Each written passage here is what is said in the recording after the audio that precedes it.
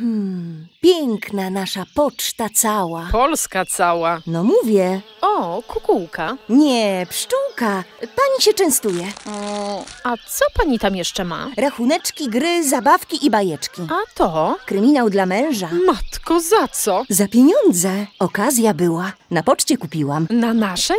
To ja polecę. Poczta Polska poleca nie tylko listy. Sprawdź ofertę upominków na każdą okazję przy najbliższej okazji dla najbliższych.